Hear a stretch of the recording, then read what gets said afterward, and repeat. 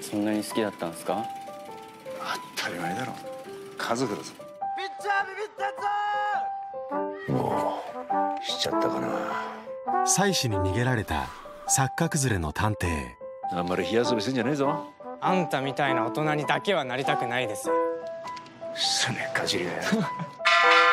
唯一の楽しみは勝負しろよ勝負をよ。月に一度の子供と過ごす時間。お金は？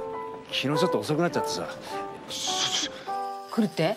うんこれから台風だっていうのに？夢見た未来。何お前遠慮してんだよお前。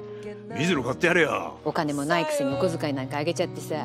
そんな一生懸命父親になろうとするならなんで一緒にいる時にもう少しさ？何しんみりしてんのよ。すいませんね。会場なしの息子で幸せってのはねうん何かを諦めないと手にできないもんなのよ。ああへそのそれにしても下手ねあの子。私見ちゃったのよ。忘れない。パパは何になりたかったの？なりたいの？になれた？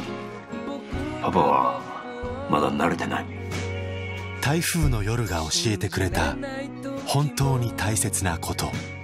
花も実もつかないんだけどね。なんかの役には立ってんのよ。